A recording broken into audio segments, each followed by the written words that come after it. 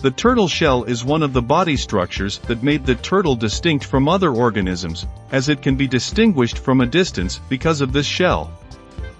The outer shell of the turtle shell contains bones that consist of a group of elements that have an important role in giving it rigidity, such as protein, which is collagen. Calcium phosphate. Calcium carbonate. The surface plates, which are located in the upper part of the shell, and consist of keratin protein that gives it the characteristic of hardness, and the turtle can get rid of the damaged plate, and it can replace it with a new one, but some types of turtles cannot get rid of the damaged plates, so they build a new one over the damaged one, such as sea turtle. The upper part of the shell or surface, and this part is in the shape of a dome and covers the upper part of the back of the turtle and the back part as it is the most exposed part, and this part consists of wide and flat ribs that connect with the spine